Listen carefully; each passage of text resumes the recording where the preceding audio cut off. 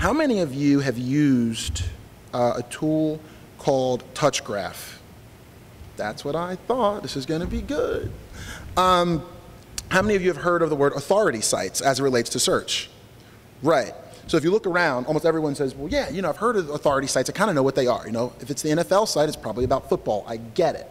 But most of you um, probably have not had an easy way of identifying who the authority sites are on a specific topic, who they link out to, are they linking out to your competitors and finding it without having to spend a lot of time yourselves or to have an intern or somebody also do it. So I think the easiest thing with, with linking, and people say it's kind of flippant, but it's very true, is very often people, I don't want that, people don't develop things of value. They really don't develop things of value. They put up a video on YouTube because that's what you're supposed to do. But yet they don't go, well, is there something in that video that's actually going to be valuable to the people who view it?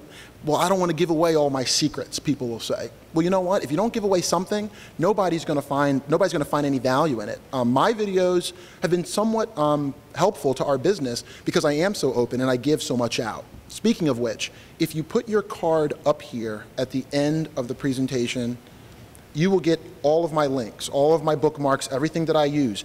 All the tools we're going through today are free. So don't believe you got to pay a lot of money for tools to do SEO well. I think most of the tools actually suck. Um, so put your card up here. Sometime with in the next two weeks, I'll have the time to get them all together and then send you out all of my bookmarks. I usually try to filter it down to only like the top 20 or 30 I use so you don't get deluged with stuff that really doesn't have as much value.